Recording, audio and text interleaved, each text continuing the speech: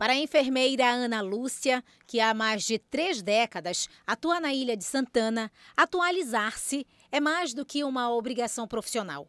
É uma forma de cuidar melhor de quem depende do serviço de saúde. Através desse aprimoramento, iremos melhorar a nossa saúde de modo geral a todas as comunidades, principalmente nós que trabalhamos na ribeirinha. Então é muito válido né, para todos participar e mostrar né, os nossos serviços que nós realizamos em todas as nossas UBS.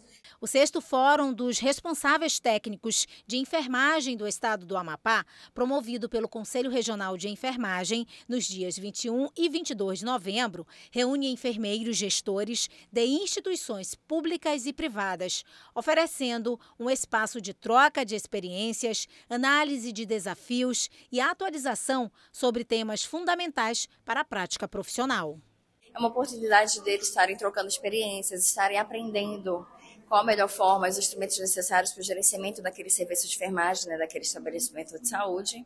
E assim também não só a parte assistencial, como as instituições de ensino também, né? Tem alguns RTs e a gente procura trazer a cada ano né, é, temas pertinentes né, que vão melhorar ali a assistência da qualidade ali da assistência de enfermagem prestada naquele estabelecimento de saúde. O evento, que também busca incentivar o empoderamento técnico e cultural dos profissionais, reflete a importância de criar redes de apoio dentro da enfermagem. A gente já está trabalhando durante o decorrer desse ano inteiro a questão do empoderamento do profissional de enfermagem. E aqui nesse momento, no Fórum do RT, o que está acontecendo? Está acontecendo um curso de imersão apenas dos RTs, que são responsáveis por toda essa categoria, que estão espalhados aí nos nossos municípios, que a gente fala, estão capilarizados. Estão nos 16 municípios, então em cada município a gente tem um representante aqui no fórum. E esse é o momento da gente estar tá informando para eles qual é o papel do RT RT, qual a sua importância, qual é a sua importância enquanto protagonista político não partidário, enquanto exercício da enfermagem na sua profissão, principalmente com relação à nossa legislação e com relação às suas atribuições.